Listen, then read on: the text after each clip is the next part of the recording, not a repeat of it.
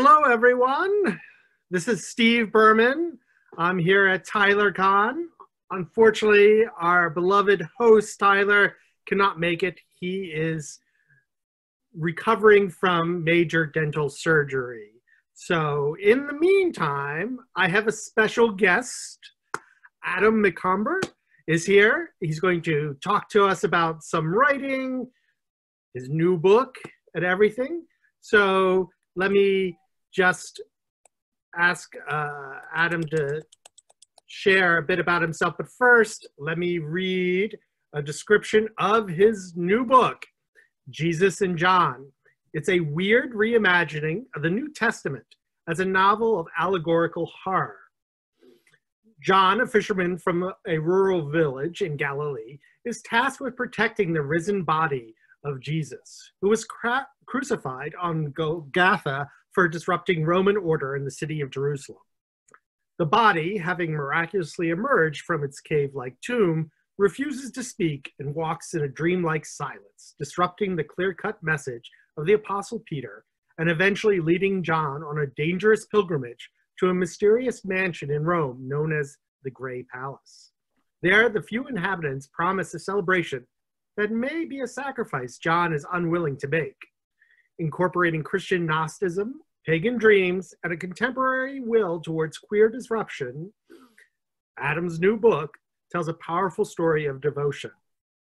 And this book should be out in May, late May, yes. All right, Adam, please introduce yourselves to, to attendees of this year's TylerCon. Hello, Steve Berman. Uh, Thanks so much for interviewing me, and thanks so much also for publishing Jesus and John. I see you're enjoying a beverage there. I am. um, very excited about it. Um, yeah, so I write, um, you know, weird fiction uh, with a, you know, literary bent, um, queer weird fiction. Um, I'm not sure what else to say about myself right now. I live in Los Angeles. I teach at uh, Vermont College of Fine Arts in the low res program. Great. So I am drinking right now um, Drumshanbo Gunpowder Irish Gin. Mm-hmm. Um, I realized as I was pouring my glass, I forgot to add the tonic water. So this is entirely gin right now. Wow, that's intense. So, so what do I do? What can I do? Do I?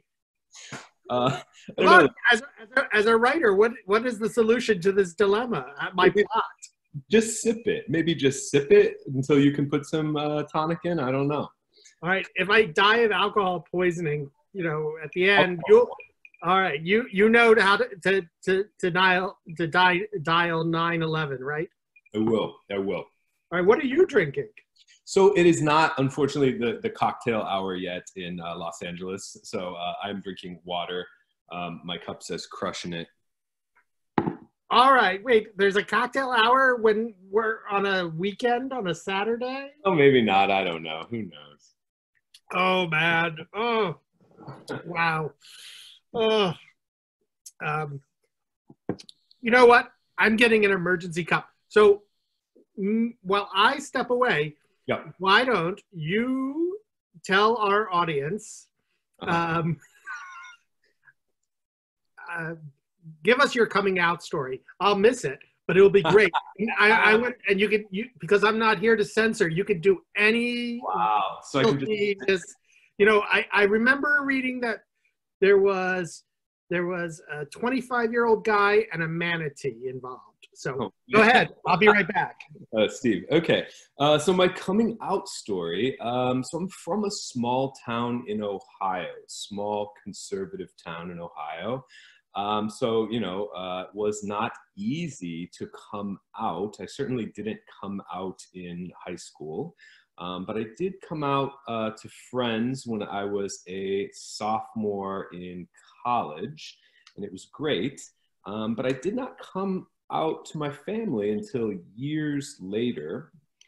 Um, and then, you know, the manatee and the 25 year old guy, they showed up at my door, and I was like, that's amazing. And everything was scandalous. Yeah. All right.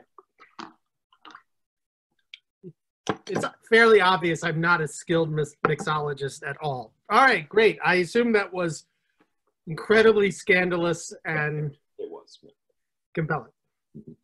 So let's talk about what you like to write. Okay. Um, you have a- you you have uh, a deep-seated affection for historical, fantastical fiction. Yeah. Um, I mean, I'm trying to think of anything contemporary of yours that I that I've read. Almost all of it is is is this wonderful snippets of of of history, whether it be Black Plague, Marie Antoinette, uh, Victorian England, and here we have biblical times. So, Yeah. what do you, what draws you to historical fantasy so much? So I guess there's a couple things. I like history in that when I write history, it feels more artificial to me when I write about the present day. So I'm really interested in artifice, kind of layers of artifice, um, making the world feel, I guess, less real. Uh, but in doing that, to approach something that to me feels even more real. So I do a lot of research with my history, but I'm also interested in um, history as a kind of set piece, you know, to contain uh, to contain my inventions. Um, that's that's a big thing for me with writing history. I just like. Uh, I also like how ornate I can make things. You know, it doesn't seem quite right to do um, such ornate uh, things with with modern day writing. Um, I just wrote a short story about a, a modern day pool party some high school students are, uh, are having, and it was very very plain, um, but it was fun as well. Yeah. Do you mean ornate by in just um, trappings? Do you mean it by uh, a layering on of of quirky detail, or what do you, how do you? Well, I think both, right? So I think that it, layering on a, of detail is more exciting to me. I love to fish interesting details out of the past, you know. So not trying to just write, um, you know, something that I've seen in a movie, uh, those kinds of things, but to dig interesting details out of the past. I have a lot of fun with that. What's one of your favorite uh, historical details that many people do not know? Huh. That's a good question. Um, I was interested, you know, for Jesus and John, when I started writing about it, I was going to write about um, the concept of Roman pleasure palaces. So I was writing about this kind of Roman pleasure palace that was set in, in you know, the countryside outside of Rome. And there were going to be lots and lots of rooms uh, in this pleasure palace where um, various historical figures, ancient historical figures, would be kind of visiting and having pleasures and maybe traumas as well. um, so that I think was a lot of fun, just kind of researching the notion of the pleasure palace and then kind of digging in and, and thinking about historical uh, figures who I could put in that pleasure palace. Do you know about Helio uh, Gabulus? Uh, maybe tell me about it. So he's he's he's my favorite Roman emperor. I think he's also uh, author Tom Cardamone's uh, fa- favorite.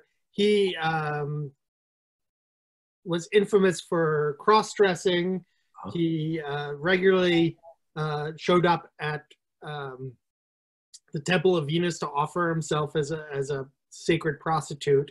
Sure. Uh, and supposedly, supposedly he killed a dinner party by smothering them with a shower, a continuous shower of rose petals. I've read yes, that I've read about. Yeah, they fall from the ceiling or whatever. That's that's amazing. Yeah. Mhm. Um, I don't know how how full or wasted these people in the dining room were, you know, to because I imagine that that that is a very slow death.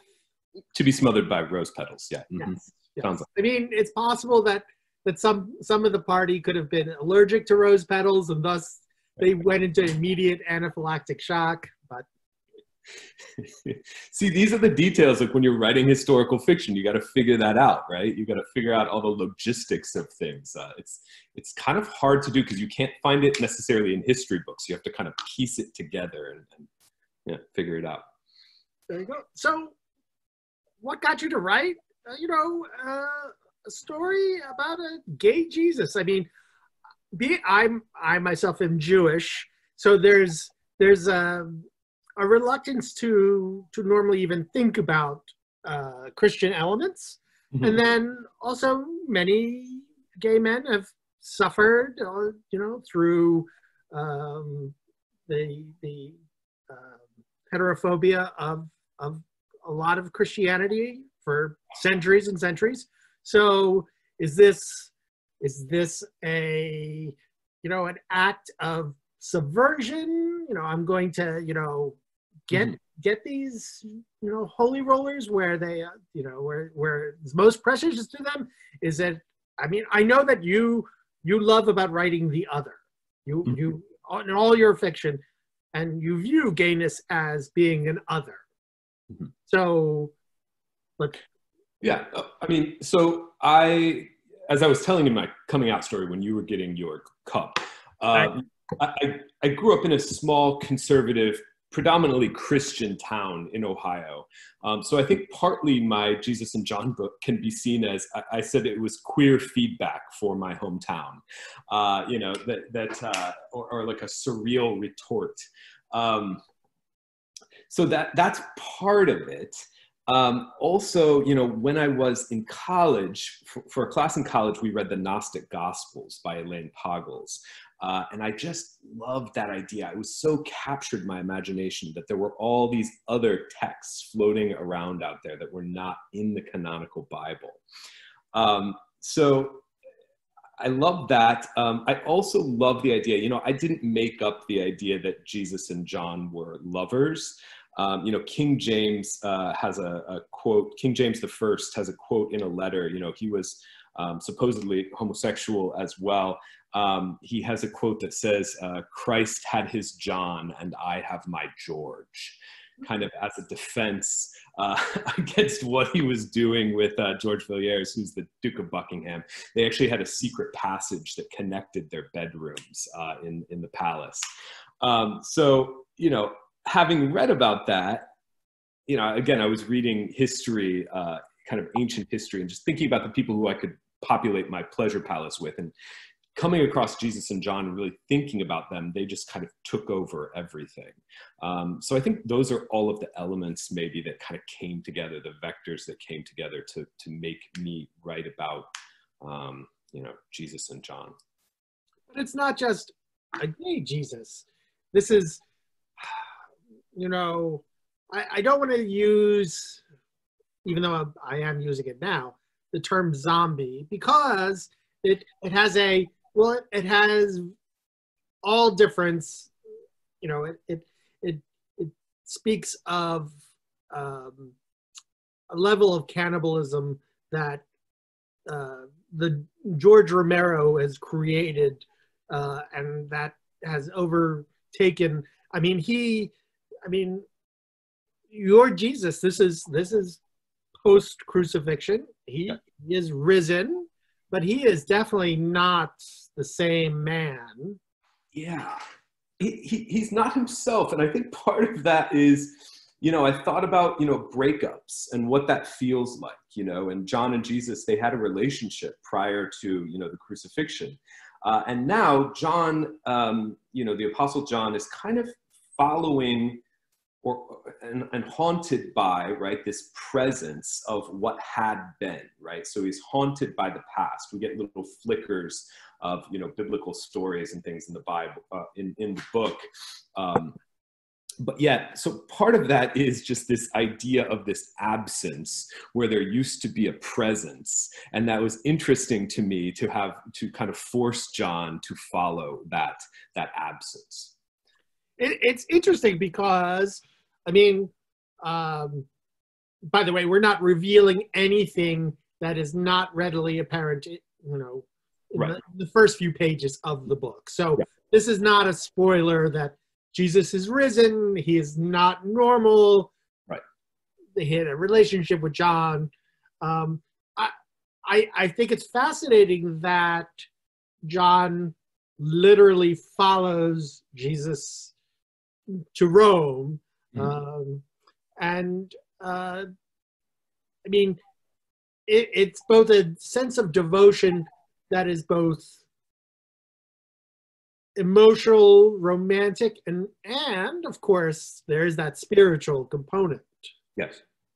So, um, and and I wondered as as I was reading it if there's some commentary upon just the relationships of, of men just really it could be of anyone but here we have a case of two men and obviously one that idolizes the other far more. I mean um, i'll never forget my my parents my my my parents their wisdom about relationship was there's always one person that loves the other more.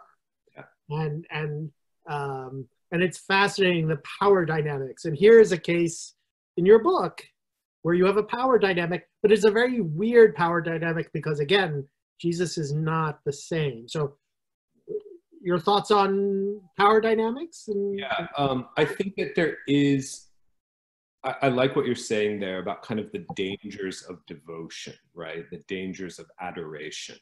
Um, that we often in a relationship make the other person into something they are not, right? We kind of layer them um, with things from the imagination and all those things. I, I, often write about the dangers of the imagination. Like you think that's a good thing, um, but it can be very, very poisonous, right? Um, so yes i think that john you know he's struggling here like what is he? You know what is a disciple? What does that mean to be a disciple when the thing that you follow again is now an absence you know?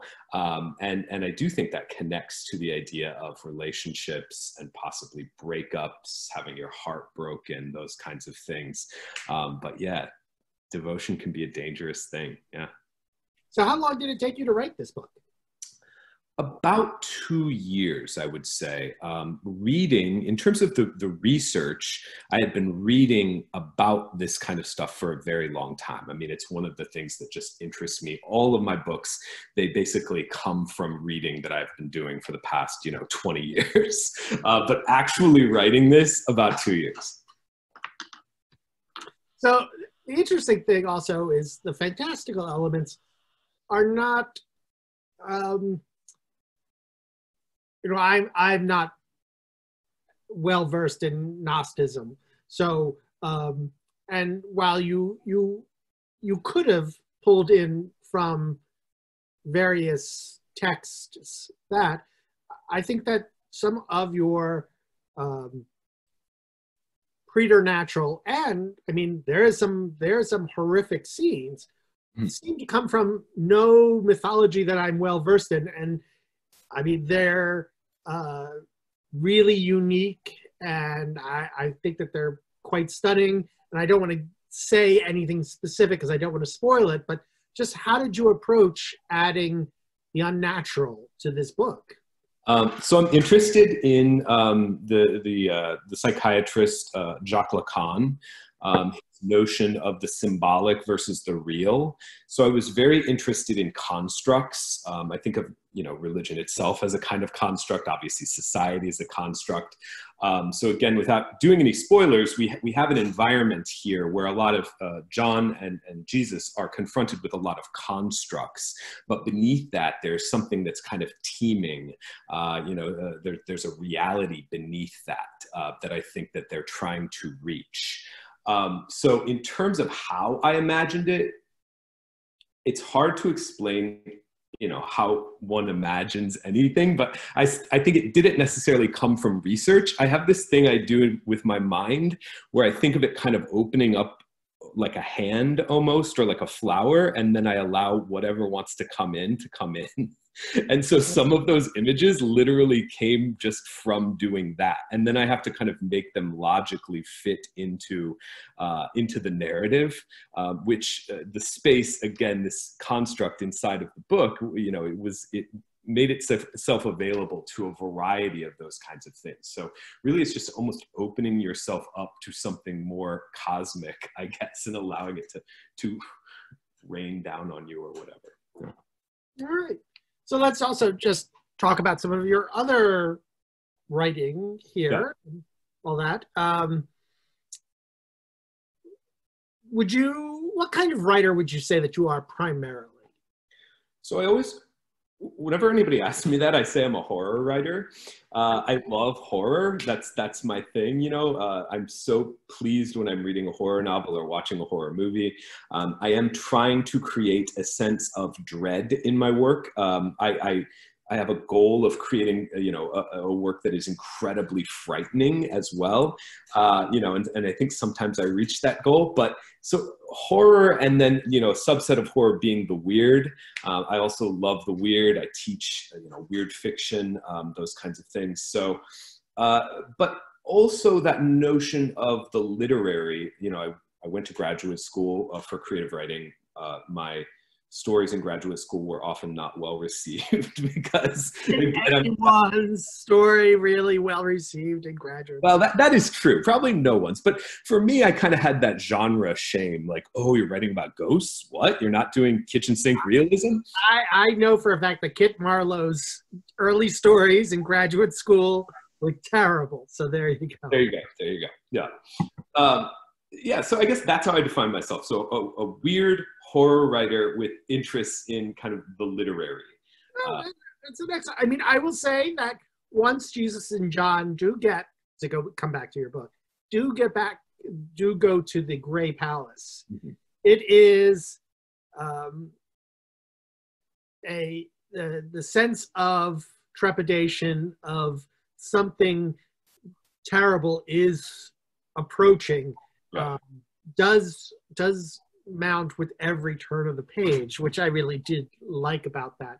Thank you. This is not a safe environment, and it's and and it's not just the difficulty of leaving. It's it's what what they find in there and the questions that are raised and often not answered. In fact, let's let's talk about that. Um, there are some things that you do not, you know, you're you're a cruel writer. You there there are some questions that that you don't seem like you want to to answer. And i'm you know is this just your style or do you do you have a sadistic you know sense of of toying with your reader?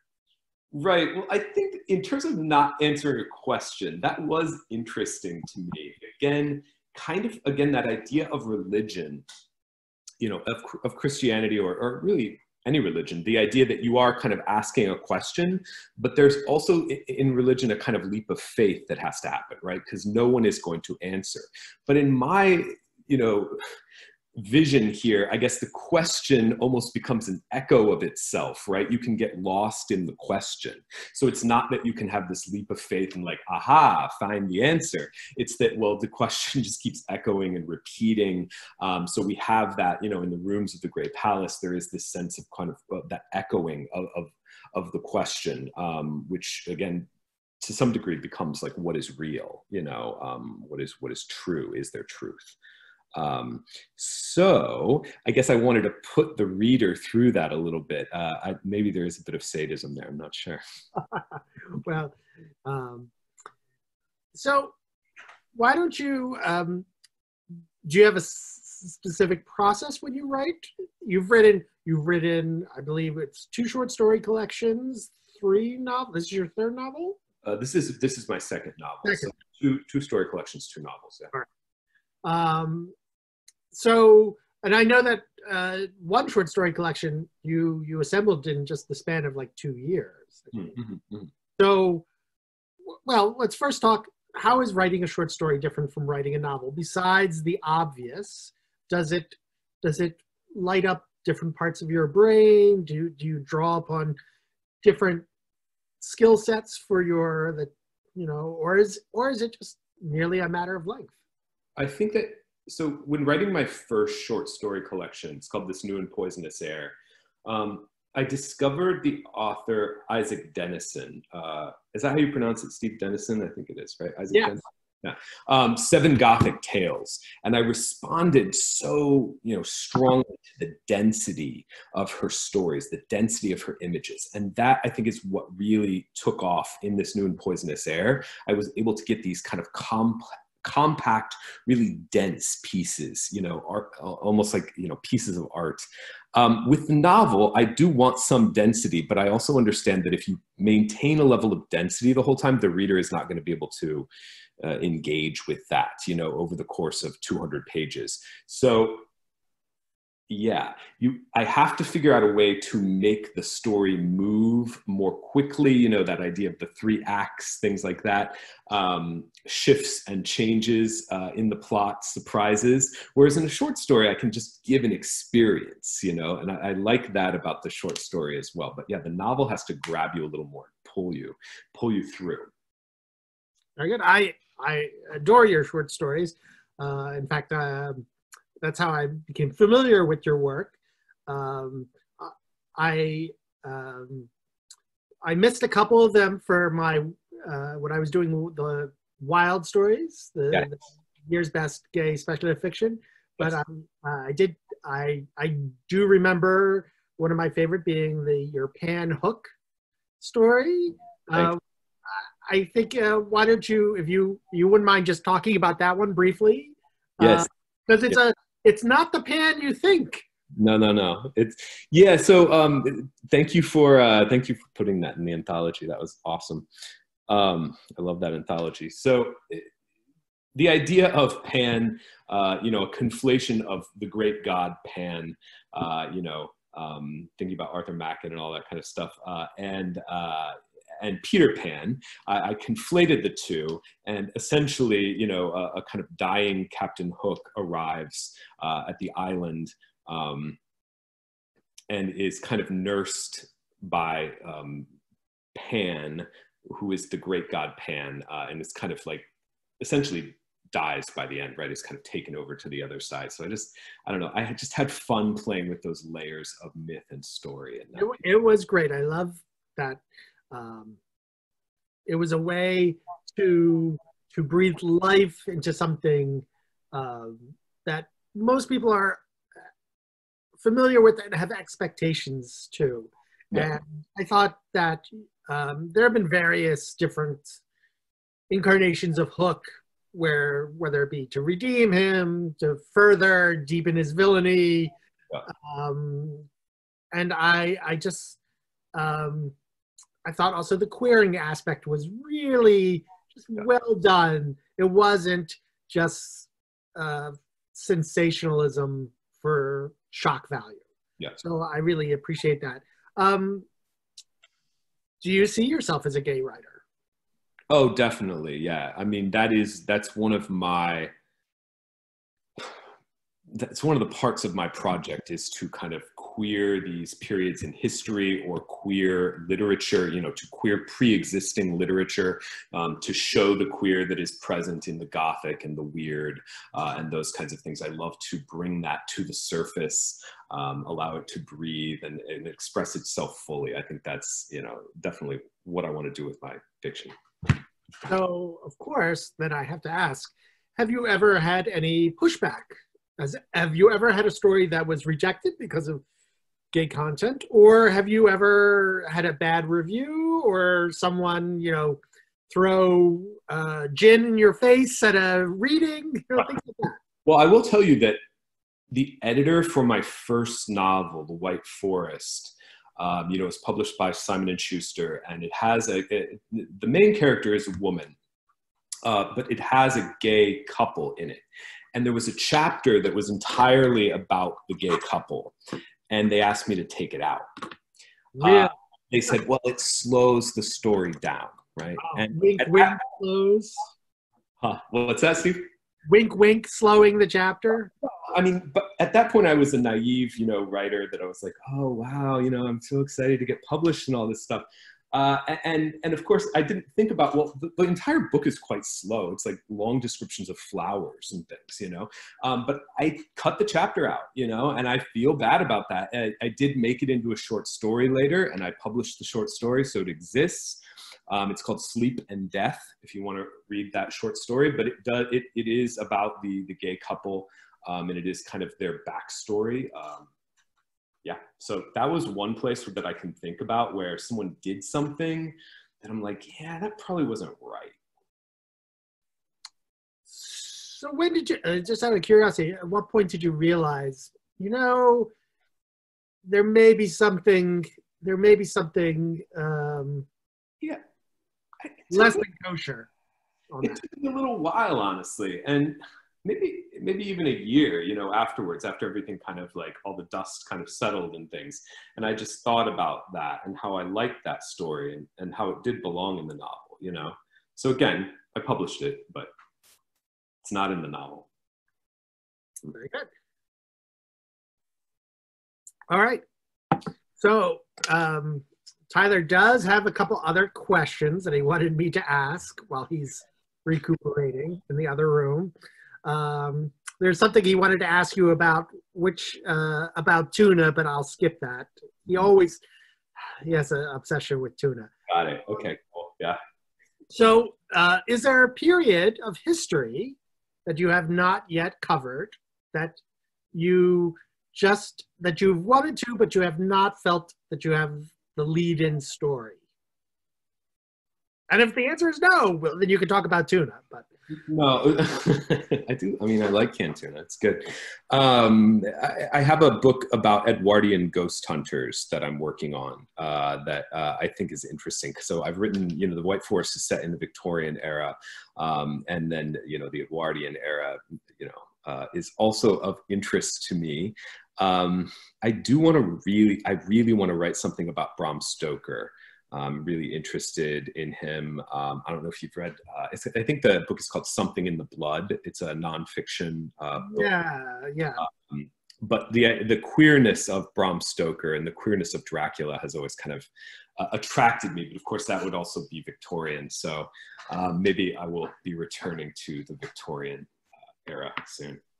Yeah, um, I I I know that uh, I love. Um, the queering aspect of um, Dracula. In fact, I, I, I edited an anthology of of queering um, characters and Stoker, the whole uh, milieu, we'll say, um, yeah. doing it. Uh, and and I loved uh, my favorite things are, of course, like how crazy his widow was after he left her with syphilis yeah. and she was going blind and she was controlling um, every aspect of the estate yeah. and you know had Nosferatu you know burned in a sense. Yeah, um, that, that is, yeah. I also always think about Keanu Reeves in uh, you know Coppola's movie. I mean, he was so incredibly hot in that, you know, in such a kind of a weirdly submissive character too, right? To Dracula in the castle, yeah. Yeah. Well, but but Harker is he's always submissive. It's he is, he is, he is yeah. and, and, you know because he's he's the he's the first victim, so to speak. He is. Um. Uh, so, um, what's your favorite Dracula then? Is it is it is it the Francis Ford Coppola? Oh, I mean, I loved that when I was when I was in high school and I saw that that that blew me away. Like it's I so. It. You, uh, hate, you hate I, it? I hate it. I guess again because being Jewish, like Christianity, doesn't really resonate for me, and so I like you know him with the cross. I'm just like, yeah. yeah. I love. The, I guess I love the decadent images of it. You know, it was just so kind of gushing everywhere. Um, yeah. It was it was great because it it was the first movie in a long time that incorporated so much from the book, mm-hmm. which is like you know Dracula being out in the daylight, yeah. um, Quincey, his, little purple sunglasses, yeah. yes, yes, and Quincey and and and uh, other people. Um, in fact, um, the very one of the very first books I ever tried to do I was working on uh, uh, the origin story for Renfield. Oh yeah, yeah. Mm-hmm. Yes.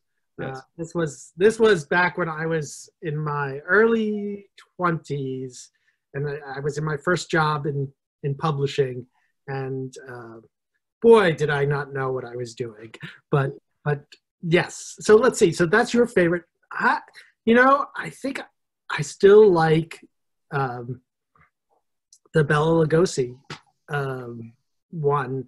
Um, no, no, actually, no. It's it's um, now that I think about it, it's the Christopher Lee Peter Cushing one. Ooh, see, I don't even think I've seen that. I need to. What? Huh? Have you ever seen the Hammer? I think it's Horror of Dracula. No, I haven't seen it. I'll, I'll watch it though. Ah, that's it. Your book is getting canceled. I can't believe Oh, this, no. is, this is heresy. It's it's the best, you know, Van Helsing. Oh my gosh. Uh, you Call yourself a horror, you know, aficionado. Mhm. goodness. So what's the, what's the picture on the wall? So that is uh, an LA artist uh, and friend of mine, Rebecca Johnson, uh, and it is a picture she took.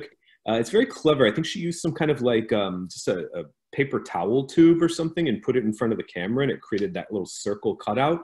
I'm not sure where it is exactly, but it's a, it's a kind of LA, uh, you know, landscape. All right. You know, if if if we sell more copies of Jesus and John, you can't afford like something else on your wall. I mean, I I you know, Something for over there as well. I just feel like you know, e- e- even if it's only just one of those the cat clocks where its eyes go back and forth. I've always wanted one of those actually, but yeah, so far no, no money to buy that, Steve. So let's let's sell books. Is, uh, what what's your favorite color? Because they make the cat clock in different colors. You know, I think uh, maybe orange or uh, gold. All right. Well,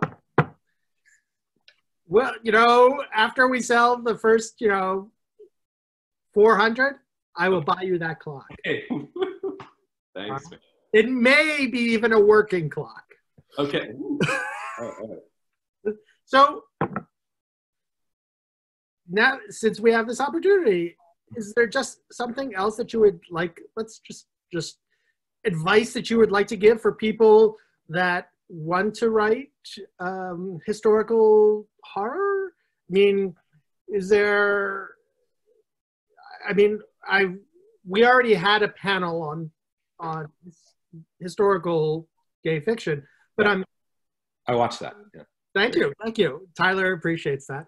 Yeah. Is, is there any tips that you want to talk about where because the fear when doing researching uh, historical fiction of any sort is the you become so far down the rabbit hole that you lose sight that you should actually be writing and then when you're writing it's how do i not make it seem like you know i'm a tour guide and i'm just showing all the fanciness of the setting i you know Yeah. how do how do i make it so that the reader feels there without you know being choked on ornateness Yeah. So one, I mean, this I don't know how interesting this will be, but one thing that I do is I keep a notebook uh, of different um, details that I might need. Um, so you know, I'll have a page of men's clothes. I'll have a page of you know. Um, uh, flowers and trees. I'll have a page of things that can be inside of a Roman house, you know, and so that I can dip into that notebook whenever I need a detail. But I don't want to info dump details, you know, so I don't pour them all on at once, but I try to scatter them throughout. Uh, and again, those details for me have to feel real and lived. They can't feel again like something I saw in like a sword and sandals type movie, you know. Um, so that that's a big thing for me is just keeping lists of, of details and dipping into them when when I want them. And, and of course, they should always serve the story, right? Uh, Janet Burroway talks about details should be concrete, but they should also be significant. They should tell you something about the character or that moment. They shouldn't just be in there because you're slathering on details. that's an excellent point all right uh, lastly um, just out of you know many of our viewers um, are are not well as well established as you are in, in their publications. So, um, if you would talk a bit about how uh, you got started in terms of the early writing and submissions, um, and just some, you know, are there? you- You've done a lot of small but significant markets, and and and not all of them are what I would consider. In fact, most of them are not what I would consider horror markets. Yeah. but they've taken horrific stories. So, is there a secret marketplace that that you know members of our audience should know about? Um, so again, I was trained in literary fiction in graduate school, or you know, that was kind of forced upon me. Uh, and, and, so I think I've always gravitated toward literary magazines, right? Um, I will say that after graduate school, I wrote, I worked on two novels for about seven years, uh, and really nothing came of them. Um, and it was it was torture for me. I thought, well, I'm going to give up. I'm not going to be a writer. Uh, and then my friend uh, Brian Leung said, uh, why don't you try short stories again? You're good at writing short stories. So I did. And I started sending them out to small, small magazines, you know, like, uh, you know, uh, and eventually, well, they all got rejected. but then one day, two actually got accepted on the same day. And that was such an amazing, like, again, it was like the heavens opened up or something. It was so beautiful. Um, so yeah, that I don't necessarily think there's any secret to that. Again, I do try to keep them uh, at, at literary. I try to keep them psychological, those kinds of things. But uh, I'm just constantly sending stuff out, and they they tend to get picked up. Um, at this point, uh, I'm trying to think of anything else I need to say about that. But yeah. Well, very good. Well, thank you so much for joining me uh, and Tyler and Absentia. Um, it's great. I hope that everyone who's listening will check out your book, Jesus and John. Um, any final remarks that you would like to say? It, hold, hold up the book. Yes, hold up. Yeah, it, it, it, the the the the yellow circle is is the arc bubble. What the advanced reading copy thing that gives you reviewers and all that. But um, the book is up on Amazon and it is up on the Lethe Press website, and uh, it's uh, it's a great read. If I I'm slightly biased, of course, but but but totally honest. So thank you, thank you very much. Let's wave to the crowd and take care, everyone. All right. Thank you. Bye. Bye bye. Okay. Oh, hold on, I have to. There we go.